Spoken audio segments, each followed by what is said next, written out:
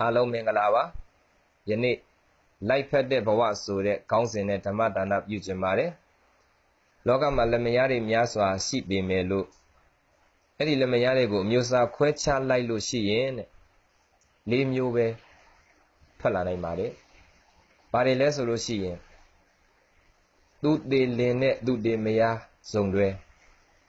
သူသေးလင်နဲ့နတ်သမီးမယားဇုံတွဲ နတ်သားလင်နဲ့သူသေးမယားဇုံတွဲနတ်သားလင်နဲ့နတ်သမီးမယားဇုံတွဲဆိုပြီးတော့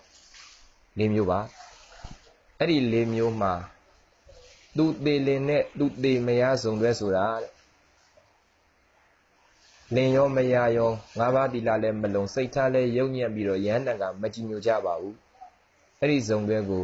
သူသေးလင်နဲ့သူသေးမယားဇုံတွဲလို့ခေါ်ပါတယ်တချို့ကြတော့ ယောက်ျားက၅ပါးသီလမလုံးစိတ်ထားယုံညံ့ရဟန္တာကမကြည်ညိုပေမဲ့ဇနီးမယားက၅ပါးသီလလုံး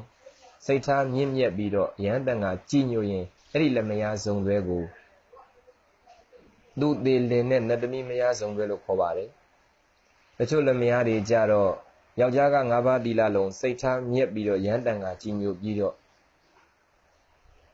ဇနီးမယားက၅ပါးသီလမလုံးစိတ်ထားယုံညံ့ပြီး ရဟန်းတန်ကမကြည်ညိုရင်အဲ့ဒါဟာနတ်သားလင်နဲ့သူသေးမရစုံတွဲလို့ခေါ်ပါတယ်နောက်ဆုံးမိတ်စုံတွဲကတော့လင်ရောမရရောငါးပါးတိလလုံးစိတ်ထားမြက်ပြီးတော့ရဟန်းတန်ကကြည်ညိုကြပါတယ်အဲ့ဒီလည်းမရစုံတွဲကိုနတ်သားလင်နဲ့နတ်သမီးမရစုံတွဲလို့ခေါ်ပါတယ်ဒီစုံတွဲ၄မျိုးမှာအကောင်းဆုံးဘဝလိုက်ဖက်တဲ့ဘဝကိုပိုင်တဲ့စုံတွဲဟာ နောက်ဆုံးပိတ်နတ်သားလင်နဲ့လက်သမီးမယားစုံတွဲဖြစ်ပါတယ်လောကမှာလက်မယားတွေအများစွာရှိကြပေမဲ့အခုလိုလိုက်ဖက်တဲ့ဘဝကိုပိုင်ဆိုင်တဲ့စုံတွဲဟာရှိတော့ရှိတယ်ရှားတယ်လို့တောင်ပြောလို့ရပါတယ်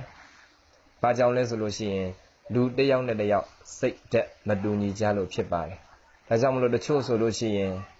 လက်မယားပေါင်းဖက်လို့မှမကြသေးဘူးသတင်းစာထဲမှာကြီးညာလိုက်ပါတယ်နှစ်ဦးတဘောတူကွာရှင်းပြည့်စဲခြင်းအဲ့လိုမျိုးတစ်ဖက်ကရှိပြီမဲ့လို့တစ်ဖက်ကလည်းပဲတချို့ဆိုရင်25နှစ်မြောက်ငွေရတုမင်္ဂလာနှစ်ပတ်လေတချို့ဆိုရင်250ရွှေရတုမင်္ဂလာနှစ်ပတ်လေဆိုတာမျိုးဒီရှိပါဒီလိုမျိုးတချို့လက်မယားတွေခန္ဓာလေးနဲ့ကွဲပြီးတော့တချို့လက်မယားတွေဘာဖြစ်လို့ဒီလိုမျိုး ကြာရှည်ပေါင်းတင်နေလို့ရတာလဲဆိုလို့ရှိရင်တော့သူတို့ရဲ့စိတ်ဓာတ်တွေကြောင့်ဖြစ်ပါတယ်အဲ့လိုစိတ်ဓာတ်တွေပုံမူတည်ပြီးတော့တချို့ဆိုရွှေရတုဟိုးရတုအဆက်ဆက်ထိပေါင်းတင်နေတဲ့လက်မယားတွေမှာဖြစ်တတ်တဲ့စိတ်ကလေးတစ်ခုရှိပါတယ်ဘာလဲဆိုလို့ရှိရင်ဩ तू ကငါ့ပေါ်မှာနားလည်မှုရှိတယ်ဆိုတဲ့စိတ်နဲ့သူနဲ့တာဆိုရင်ဘဝတန်တရားအဆက်ဆက်ပေါင်းဆက်ရပါလို့ဤငှက်ဖြစ်ရင်တကိုင်းနဲ့နားရပါလို့ဤဆိုတာမျိုးထိဆုတောင်းတာမျိုးရှိပါတယ် အဲ့လိုဆုတောင်းတာဟာကိုကိုဘက်ကတစ်ဖက်တက်တက်ဆုတောင်းတာဆိုရင်တော့အဲ့ဒီဆုတောင်းပြည့်ရင်တောင်မှသိပြီးတော့အကျိုးမများနိုင်ပါဘူး။ဘာဖြစ်လို့လဲဆိုတော့ဦးဇင်းတို့လူဆိုတာဘဝတိုင်းအမြဲမကောင်းနိုင်ပါဘူး။ဒါကြောင့်ကိုအဲ့လိုတစ်ဖက်တက်တက်ဆုတောင်းမယ်ဆိုရင်တော့ဖရာလက်ထက်ကသောတာပန်တရေတမီလေးမုတ်ဆိုးကြီးနောက်လိုက်သွားတယ်လို့မျိုးကိုဆုတောင်းကြတဲ့အတွက်သူဘာဖြစ်ဖြစ်ချစ်နေမိမှသိချပါတယ်။ဒါကြောင့် ဆုတောင်းမယ်ဆိုရင်အဲ့လိုဆုတောင်းတာထက်ဘဝတန်တရားအဆက်ဆက်သူတော်ကောင်းနှင့်သာပေါင်းဖက်ရပါလို့ဤလိုဆုတောင်းတာကပို့ပြီးတော့ကောင်းနိုင်ပါတယ်ရှင်ဘုရားတပည့်တော်ကသူတော်ကောင်းဆိုတာတဲ့သူမှသူပဲဗျာသူကလွဲလို့ဘဝတန်တရားမှာဘဒူနဲ့မှကိုမပေါင်းခြင်းပါဘူးဆိုလို့ရှိရင်တော့ချိတ်ဆိုတာတစ်ဖက်သက်တဲ့ချိန်ရင်မရပါဘူးဒါကြောင့်ချိတ်ချင်နှစ်ဖက်လုံးချိတ်ရပါတယ် ဒါကြောင့်လက်မြနှစ်ယောက်လုံးကအဲ့ဒီလိုမျိုးဘဝတန်တရားကနေအစုံနိဗ္ဗာန်ရောက်သည့်တိုင်အောင်နှစ်ယောက်အတူပေါင်းဖက်ရှင်တွဲခြင်းနဲ့ဆိုရင်တော့မြတ်စွာဘုရားဟောထားတာရှိပါတယ်ဘဝအတိုင်းစုံတွေ့ရဖို့အတွက်တဲ့လင်းနဲ့မယားနှစ်ယောက်လုံးဟာ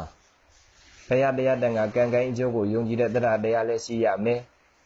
ငါးပါးသီလလည်းလုံရမယ်ဒီကံစွန်ကြဲရမယ်ကောင်းတာလို့ရင်ကောင်းကျိုးရတယ်မကောင်းတာလို့ရင်မကောင်းကျိုးရတယ်ဆိုတဲ့ဉာဏ်ပညာလည်းရှိရပါမယ် အဲ့ဒီလိုမျိုး၄ခုစုံရင်တော့ဒီရင်နဲ့ဒီမယားဟာယနေ့ကစနှစ်တရာတိုင်မကပါဘူးဘဝတန်တရာအဆက်ဆက်ကနေပြီးအိုးနိဗ္ဗာန်ရသည့်ဘဝတိုင်အောင်အတူရှင်တွဲပြီးတော့ပေါင်းဖက်နိုင်ပါတယ်။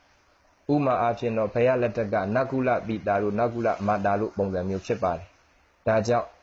လောကမှာရှိတဲ့လက်မယားစုံတွဲတိုင်းဟာမိမိတို့ကိုယ်ကိုမိမိ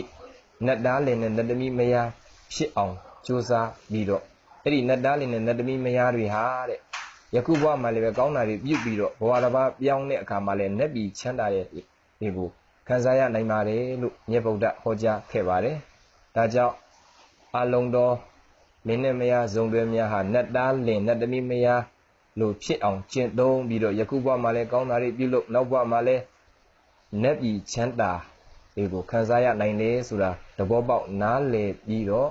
ကောင်းတာတွေကိုစ조사ပြုလုပ်တဲ့လိုက်ဖက်တဲ့ဇုံတွဲပိုင်ရှင်များဖြစ်ကြပါစေလို့မေတ္တာအာတိတပြုရင်ဦးဇင်းရဲ့တရားစကားကိုတည်တင်မဲ့ဏီကုံကပတ်အဆုံးတတ်ပါတယ်အလုံးသူတော်ကောင်းများဘေးရန်ကြောင်းကြဆင်းရဲကင်း၍ကိုယ်စိတ်နှပြချမ်းမှချမ်းသာကြပါစေ